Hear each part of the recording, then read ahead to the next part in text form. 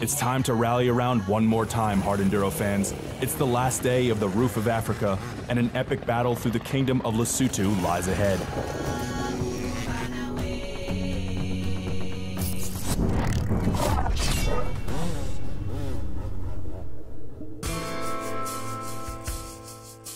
Off-road day one, the longest day of the rally, saw Graham Jarvis and Alfredo Gomez fight tooth and nail 100 kilometers in the heat and high elevations, with Gomez eventually earning the best time. You may run for a long time, run on for a long time. With little rest, the riders must tackle an off-road day two with 115 more kilometers that will push them to their limits. The tension is thick in the early morning air as the riders prepare themselves for the epic journey ahead. Jarvis sets off first, having to blaze his own trail, with Gomez only 27 seconds behind. Let's check in with some legends of the roof to see what it takes to be a champion.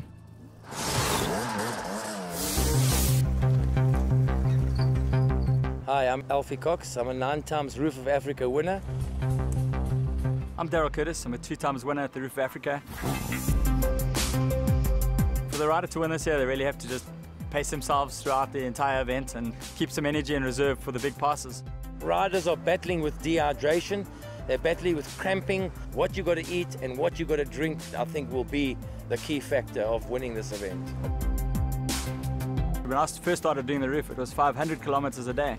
And if you look at our race distances now, Friday of 157 kilometers, but yet the guys are riding the same amount of time. And uh, it's just evolved. It's become so much more technical, so much more difficult.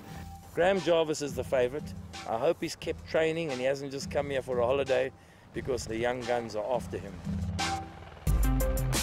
To take the win here, you know, you need everything. Obviously, the skill on the bike, but stamina plays such an important part as well, and you know, concentration over a long period of time.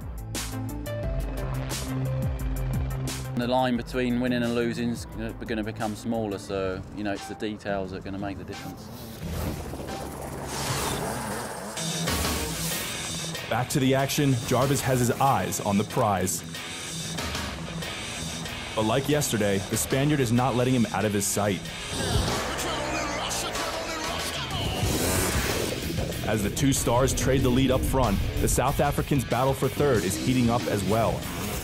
Mixed in with the other riders, Blake Gutzeit, Travis Teasdale, and Scott Bouverie are doing their best to keep pace with each other over the rugged countryside.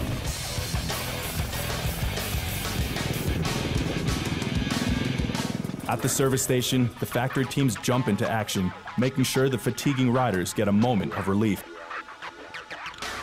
Out in the wilderness once again, the two hit the 100 kilometer mark, never once having left each other's side. This epic struggle is what hard enduro is all about.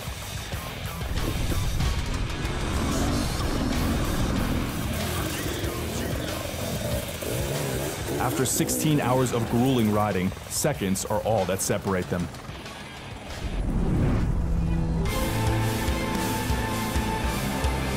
Rising up the last hill climb, it's Jarvis who takes the flag, just nine seconds ahead of Gomez.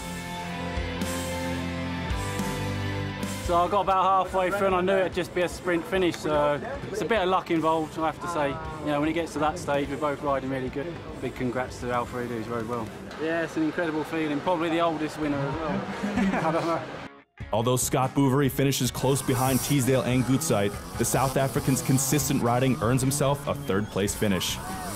As for the amateurs in the lower classes who finished the legendary roof, the smiles of relief are everywhere.